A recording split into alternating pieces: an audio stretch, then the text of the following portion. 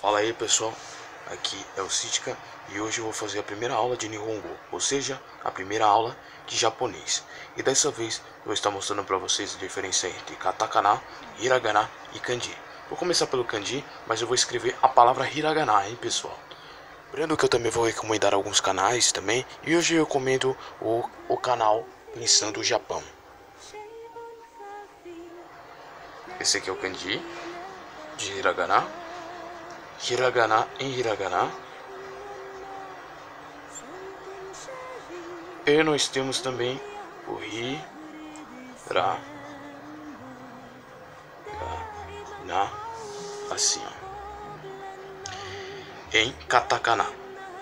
Bem, pessoal, essa é a primeira aula. Eu vou mostrar para vocês depois o alfabeto. Depois nós vamos partir para pronomes já. Então é isso, pessoal. Valeu, um abraço e tchau.